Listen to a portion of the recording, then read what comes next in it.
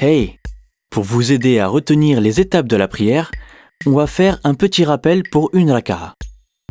On commence en levant les mains au niveau de la tête et on dit Allahu Akbar. On récite la sourate El-Fatiha suivie d'une deuxième sourate de votre choix. Ensuite, on s'incline en disant Allahu Akbar, puis trois fois Subhana Rabbiyal Azim. Après, on se relève en disant Sami Allahu liman hamidah. Puis on se prosterne en disant Allahu Akbar, puis trois fois Subhana Rabbiyal A'la. On se relève en disant Allahu Akbar. Et on se prosterne à nouveau en disant encore Allahu Akbar et trois fois Subhana Rabbiyal A'la.